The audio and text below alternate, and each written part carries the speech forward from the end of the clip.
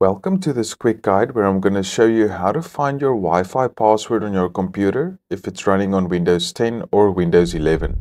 Starting from your desktop, you'll need to do a search for Control Panel.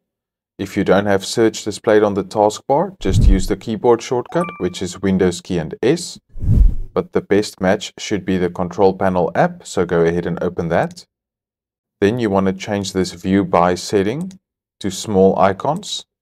And on this list of small icons, you want to find the Network and Sharing Center. So click into that. On this page, you'll see the name of the wireless network that you're currently connected to. And over here on the right where it says connections, you can click on the wireless network adapter for the network that you're currently connected to. And then when you see the Wi-Fi status screen appear, you need to click on wireless properties.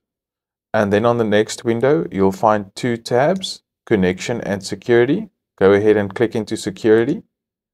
And then you want to come over to this box where it says show characters and then click on that. And do keep in mind you need to be an administrator for this to work or have the administrator's password.